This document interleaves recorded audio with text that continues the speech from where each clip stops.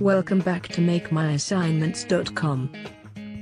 In the previous video we learned about democratic leadership and its various characteristics, advantages and disadvantages.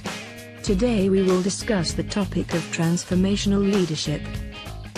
Transformational leadership is a style of leadership where a leader works with teams to identify needed change, creating a vision to guide the change through inspiration, and executing the change with committed members of a group.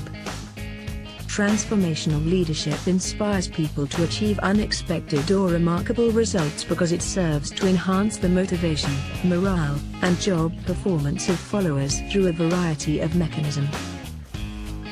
Now let's discuss the various characteristics of transformational leadership. There are four main characteristics of transformational leadership.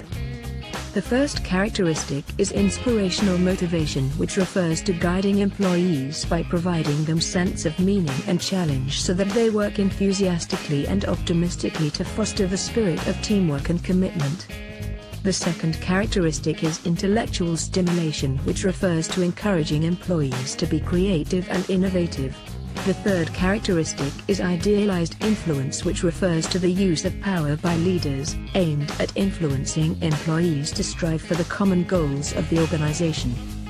The fourth and last characteristic of transformational leadership is individualized consideration which refers to empowering employees to make decisions and providing them the needed support to implement their decisions.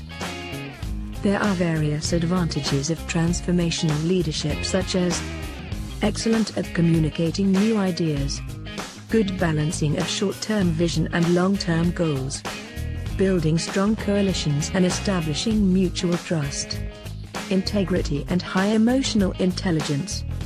There are also several disadvantages of transformational leadership such as ineffectiveness in initial stages or ad hoc situations, need for an existing structure to fix, chances of being manipulated by leaders, and bad fit in bureaucratic structures.